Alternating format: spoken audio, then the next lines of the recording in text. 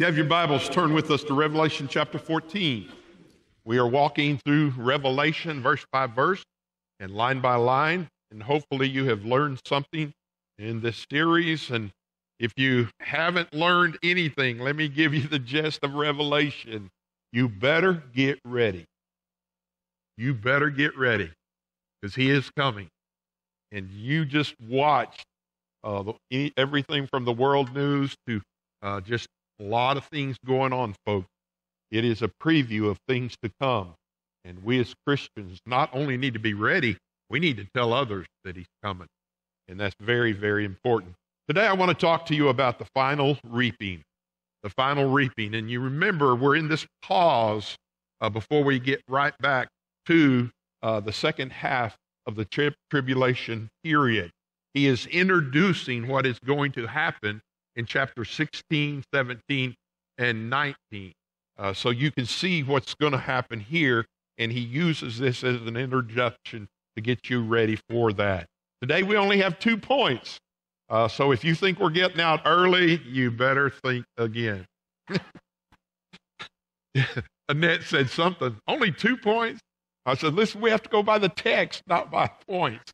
All right, there's two points here. Number one, if you have a bulletin and want to follow along with us, the grain harvest. The grain harvest. And to understand this, you need to understand the grain harvest symbolizes the seven bowl judgment. The seven bowl judgment, which we will speak of here in just a few minutes. Number two, the grape harvest. The grape harvest. And that is speaking of the battle of Armageddon. Folks, I am telling you, it will be the battles of all battles. And when I say that, I am talking about numbers of people. But I will give you a preview of that. Jesus Christ, I am telling you, he is going to wipe out every one of his enemies. And uh, we will speak of that also. God's final judgment on earth is the central focus of the second half of of Revelation chapter 14. After years of enduring the Antichrist persecution, the day of the Lord will fall on Satan, the Antichrist, and the false prophet, and all the demonic angels here on earth. It will be the full fury of the Lord Jesus Christ and his judgment. It will reveal the seven bowl judgments and the battle of Armageddon. Jesus used the familiar story of the wheat and the tares in Matthew 13 earlier in his ministry to explain to his disciples what will happen in the end days. Let's look at this serious and sombering scripture in the second half of Revelation chapter 14. Number one, the grain harvest. Chapter 14, verse 14. Then I looked. I looked. John uh, says this several times in the book of Revelation. And behold, a, a white cloud and on the cloud sat one like the Son of Man, having on his head a golden crown, and in his hand a sharp sickle. And here you can see, uh, uh, you know, several uh, descriptions of Jesus Christ. At first, he's coming on a white cloud, and clouds, uh, you know, we associate them with angels. All right, but also uh, we associate them when you when you look in the sky and you see clouds. You know, I don't know if you've ever done that. You looked at certain symbolism of that. Well, folks, the Bible here says Jesus is coming on a white cloud. And the second thing, and one who was like the Son of Man, having his head uh, a golden crown.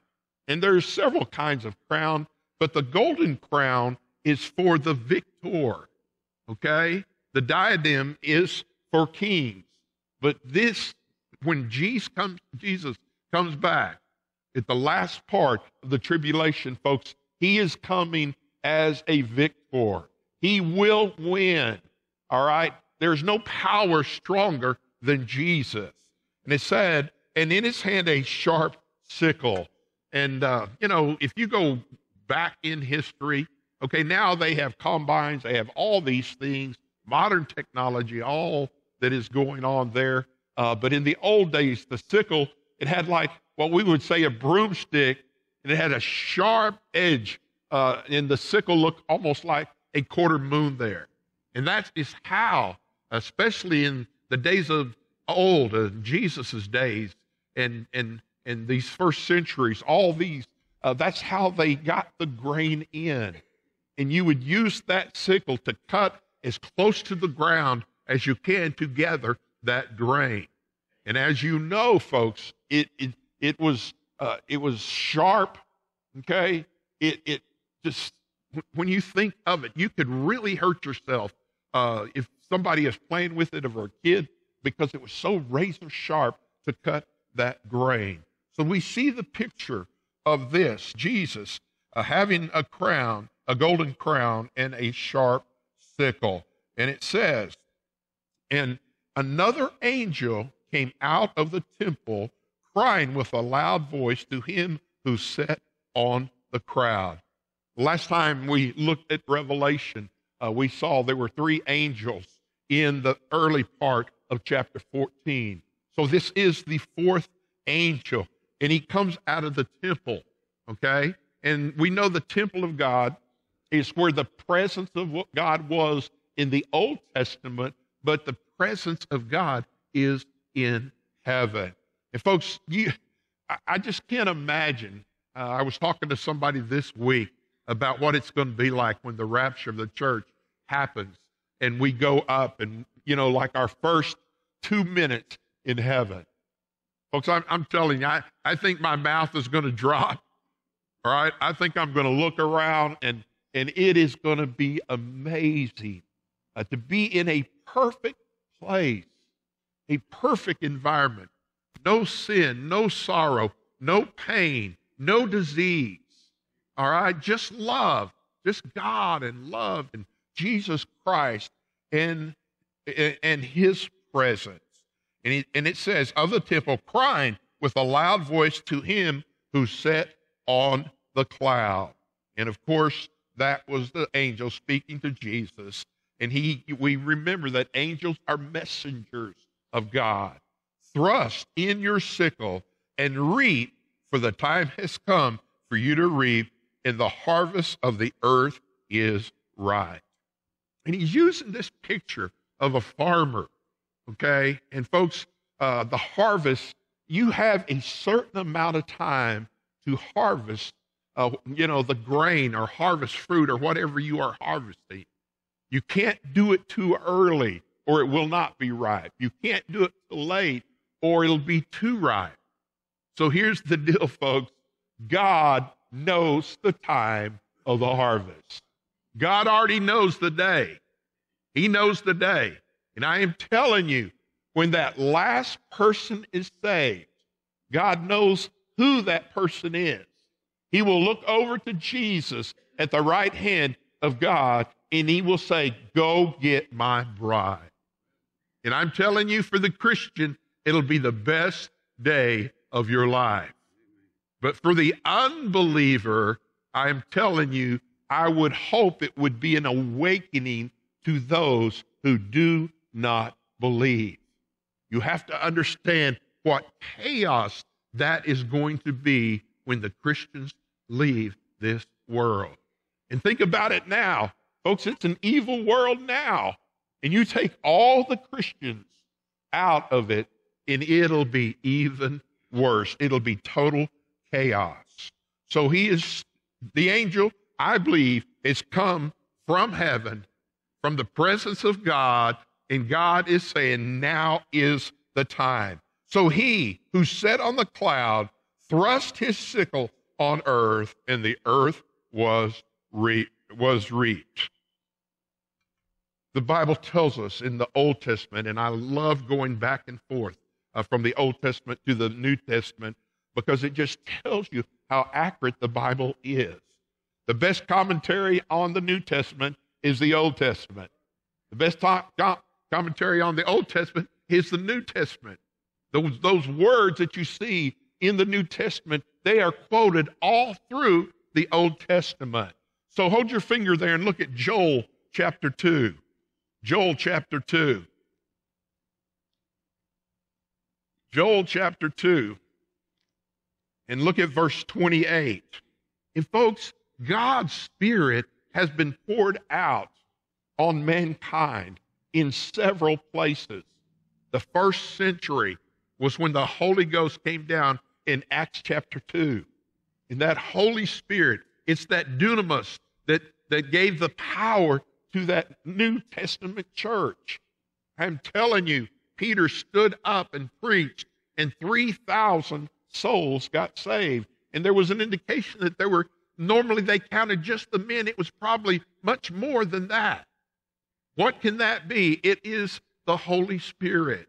It is the power of God through the Holy Spirit. And even during the tribulation times, we talked about the 144,000 evangelists.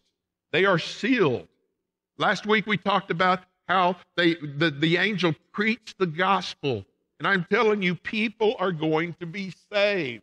There is there's going to be salvation even in those last days and in these terrible times because God is, is patient. God, God is waiting. God is giving people second and third chances. So we look at verse 28 and it shall come to pass afterward that I will pour out my spirit on all flesh, and your sons and your daughters shall prophesy. Your old men shall dream dreams, and young, young men shall see visions. Also on my man, men servants and on my maid servants and I will pour out my spirit in those days. Folks, God is not through yet. If he was through saving people, he would have already come. But there are still people that need to hear the gospel of Jesus Christ and give their heart and their life uh, to Jesus. Now, verse 30 and I will show wonders in the heavens and in the earth, blood and fire and pillars of smoke. The sun shall be turned into darkness, the moon into blood, before the coming of the great and awesome day of the Lord, which we were speaking about. And it shall come to pass that whoever calls on the name of the Lord shall be saved. For in Mount Zion and in Jerusalem there is deliverance, as the Lord has said, among the remnant whom the Lord calls. So we know God will be working we know that many, many, many, many people re- will reject the gospel of Jesus Christ. But there are still those through the power of the Holy Spirit, through the preaching of the 144, that will be saved. Now look at Daniel chapter 3. Daniel 3. Daniel 3. Well, I'm having trouble. There we go. Daniel 3, verse 13. I was watching in the night visions, and behold, one like the Son of Man coming with the clouds of heaven. And he came to the ancients of days, and brought and they brought him near before him. To him was given the dominion and glory and a kingdom, and all the na- peoples and nation and languages should serve him. And the ancients of days is God Himself. His dominion is everlasting dominion, which shall not pass away, and His kingdom, the one which shall not be destroyed. Oh, folks, there's coming a day when God will take over this earth. Judgment will fall first. There will be a great, uh, you know, the the the plagues, and it just reminds me the seven uh, judgments remind me of the plagues that were seen, uh, you know, before Pharaoh and in Egypt. There's some similarities, not word for word, but there's some similarities there. Now look at Revelation chapter 16. Revelation 16. Look at verse 1. Then I heard a loud voice from the temple saying to the seven angels, Go and pour out the bowls of wrath of God on the earth. And then he lists the first bowl, the, the first bowl and down through here. And again, we're not going to, we'll, we'll study these specifically in about, you know, in January. But I want you to see what is happening. So the first went and poured out his bowl upon the earth, and a foul loathsome sore, loathsome sore came upon the men who had the mark of the beast and those who worshiped his image. All right, these are these are the bowl judgments. Then the second angel poured out his bowl on the sea, and it became blood as dead men, and every living creature in the sea died. Boils and blood and death. Third, the third angel poured out his bowl on the rivers and the springs of water, and they became blood. And I heard the angel of the water saying, You are righteous, O Lord, the one who is, who was, and who is to be. That's the third time in Revelation we have heard this. And folks, it talks about eternity. It talks about who God is, who Jesus is. He is Jehovah God Almighty. All right? Who was. Folks, I am telling you, he was not created. God always was. Jesus always was and who is to be. And I'm just telling you, folks, the best for Christianity, the best for Christians is yet to come. He will come back to earth. He will destroy evil. He will destroy uh, Satan and the Antichrist and the false prophet. And you can, you can be sure that that is going to happen. He will be judged because you have judged these things for they have shed the blood of the saints and the prophets. And we remember back, uh, you know, in early Revelation to where the martyrs were under the altar and they were praying, Lord, even come now. Lord, even, even give us vengeance on our lives.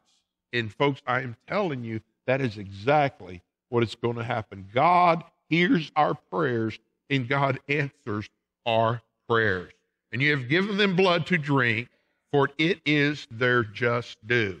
And I heard another from the altar saying, Even so, Lord God Almighty, true and righteous are your judgments.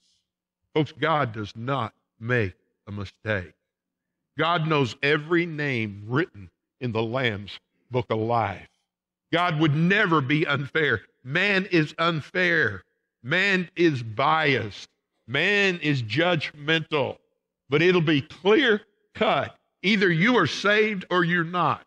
Either you know Jesus Christ as your personal Savior or you don't. Then the fourth angel poured out his bowl on the sun, and power was given to him to scorch men with fire. And men were scorched with great heat, and they blasphemed the name of God who has the power over these things and the plagues, and they did not repent, and give glory to God.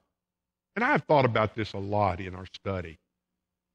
Seeing the rapture of the church, seeing all that even precedes where we are in Revelation, how would not man figure out there is something big going on here on earth? There's something uh, strong, there's something uh, a greater power than they've ever seen when you see these judgments, okay? The trumpet judgments, the seal judgments, and the bowl judgments. I mean, you look at all those. That is God trying to get the attention of mankind. But there's still people that will not acknowledge God for who He is. And these judgments are coming to these lost people. And they blaspheme the name of God. Verse 9, who has the power over these plagues, and they did not repent and give him glory. Oh, folks, I just, it just breaks my heart when people blaspheme God. When they say there is no God. Folks, they're going to meet him personally. They're going to stand before God. And they, and I tell you what's missing in our world today a reverential fear of God. They take God's name in vain. That just chaps my hide. I'm just telling you, I can't stand to hear somebody connect God's name with a curse word because He is holy, He is righteous, He is pure, He is the righteous judge. And we need to understand these things are, all these judgments are trying to get uh, the, the attention of people, but they still blaspheme him and they did not repent. And do you know why they don't want to repent? because of sin. They would rather live in sin than live in righteousness. And folks, I am telling you, you can take or, or Matthew chapter 25. There will be a, a, a division of the sheep and the goats. One day, everyone will stand before God and give an account of their life to God. Now look at verse 10. And then the fifth angel poured out his bowl on the throne of the beast, and his kingdom became full of darkness. They gnawed their tongues because of pain, and they blasphemed the God of heaven because of their pains and their sores, and did not repeat, repent of their deeds. So we see the grain harvest is the seven bowl judgments, and that was the that was five of them, and we'll cover the other ones uh, just here in a few minutes. So we see we see the grain harvest, and then now let's see the grape harvest. Verse 17. Then another angel came out of the temple which is in heaven, and he also having a sharp sickle. This was the fifth angel. And it says, And another angel came out from the altar who had power over fire, and he cried with a loud cry to him who had the sickle, saying, Thrust your sharp sickle and gather the cluster of the vine of the earth, for her grapes are fully ripe. See, the first group, the grain, was over overripe. The second one, it is time. It is fully ripe according to Scripture. And when we see the altar, all right, the first thing we think of is the brazen altar of sacrifice. That that's where the blood was shed, and that animal's blood paid for our sins and rolled back our sins for one year in the Old Testament. And they would take uh, the coals from the brazen altar and put it on the altar of incense. And the altar of incense were those prayers that went up for others and those prayers of the martyrs, okay, that we had talked before. And this is what he is talking about here. Folks, I am telling you, God is going to answer their prayers. God hears every one of our prayers. God knows everything about you. We need to pray in the Spirit. We need to pray for the lost. We need to pray for Christians. We need to pray for Israel, folks. And it says, And he cried to him who had a sharp sickle, Thrust your sickle and gather the clusters of the vine on the earth, for her grapes are fully ripe. And, folks, the difference between the grain uh, reaping and the grape is, you know, the reason for smashing the grapes is to get the juice out of the grapes, and it is used for consumption. Now, again, there's a difference between grape juice and fermented grapes, all right? I don't have time to go into that, all right? But, you know, and here's the deal about that, folks. You got to buy it somewhere, all right? In alcohol, it's, it, it's just, folks, I have seen the damage that it does to people and to families. And I'm just I have just chosen to abstain. I've chosen. And here's my theory on all of life when in doubt, do without. If I'm not sure it's right or wrong, I'm not going to do it. I'm not going to taint my testimony. All right? And you can call me old fashioned, you can call me whatever you want. But I'm telling you, I believe the Bible, there are just too many things and, and we'll, we'll share that at a, another time. But the grapes, and we know what happened, folks. Uh, we have a grape festival right down here in Altus. And you notice the TV people get up there and they pull their pants up and they're stomping on the grapes, all right? All right? That's, that's old now. They do it a totally different way. But the point in that is these grapes are smashed, okay? They, they squeezed every bit of juice out of them. Let me give you another word. They're crushed. Okay? They're totally crushed. And the liquid flows down and they gather the liquid there. So verse 19 says, So the angel thrust his sickle onto the earth and gathered the vine of the earth and threw it in the great winepress of the wrath of God.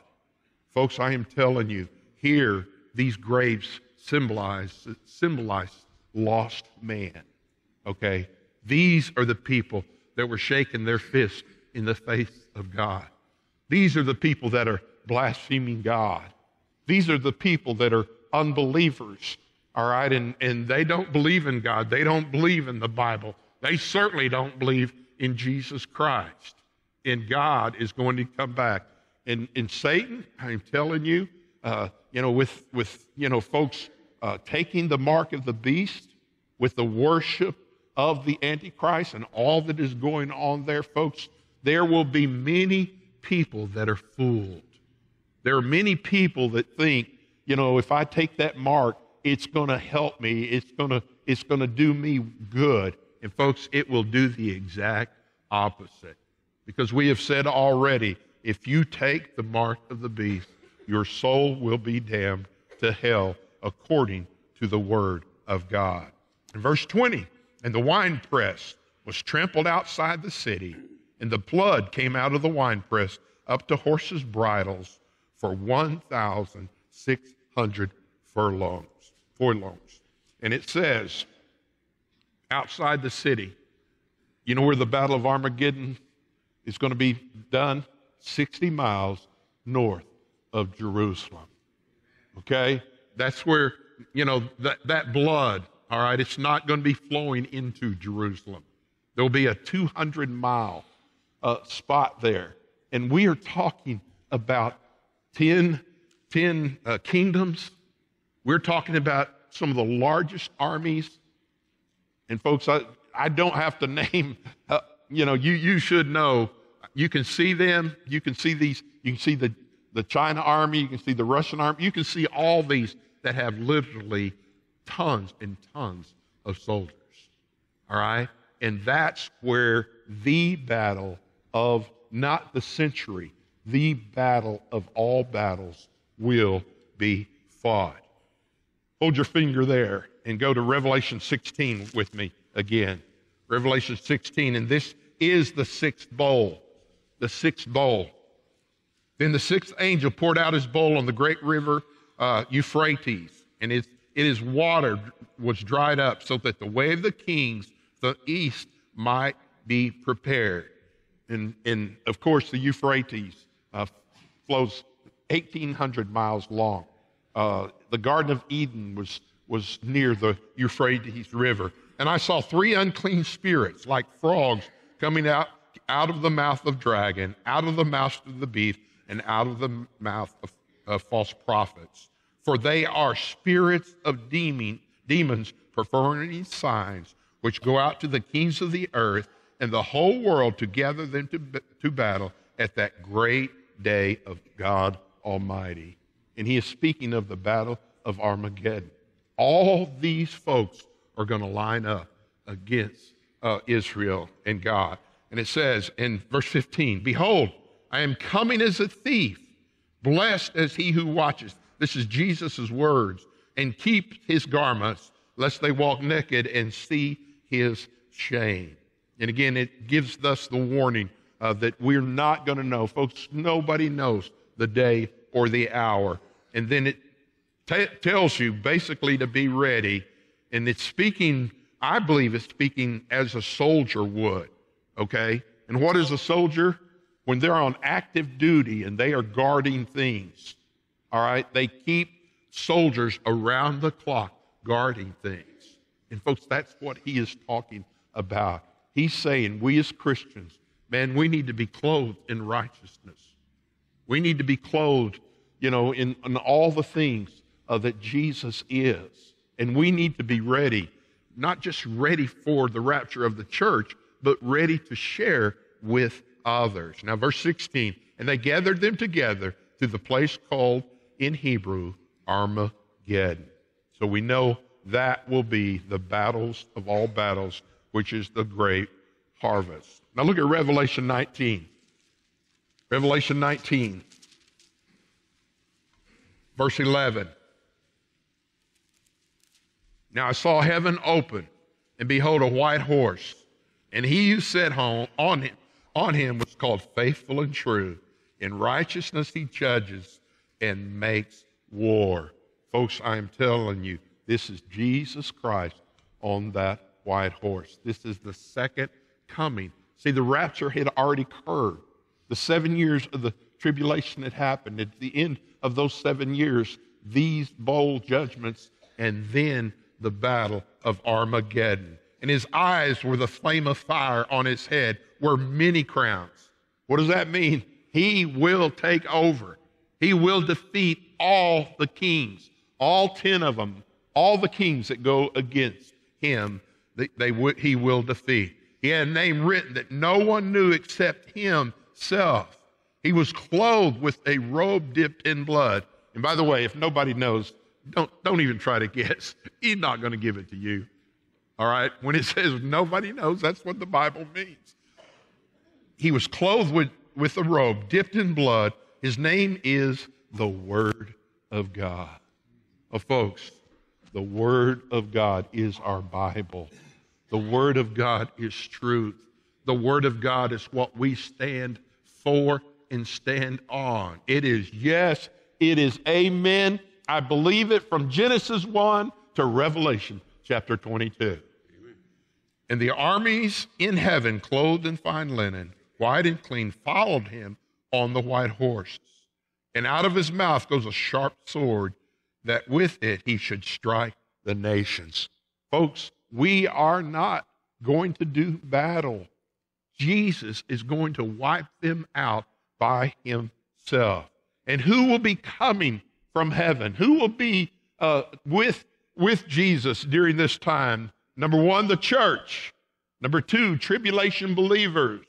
Number three, Old Testament saints. And number four, holy angels. All of them will come back with Jesus Christ. Now, out of his mouth, and he himself will rule them with the rod of iron. He himself treads the winepress of the fierce and the wrath of Almighty God. He has on his robe and on his thigh a name written King of Kings and Lord of Lords. Oh, folks, Jesus is that victor. Jesus will come back and he will wipe them out. He will wipe them out. And we don't have time uh, to read the rest of those, but basically, what he does at the end that, right before the millennium, he takes the, uh, the Satan, the Antichrist, uh, and the false prophets and all the demons, and he throws them into the abyss to be locked up for 1,000 years. So, in closing, Psalm 24. And by the way, what they were talking about back, back in our text, that blood, it will be such a bloody war that the blood and the slaughter will go up through the bridles of horses. 200 mile radius. And it's saying that is going to be the slaughter. And folks, that's, that's three to four feet high and maybe even five, depending on how tall the horse is. But it is, it, it's just, it's, it's unbelievable. But, but folks, that's what the Bible says, and we will believe it. So Psalm 24, and I close with this.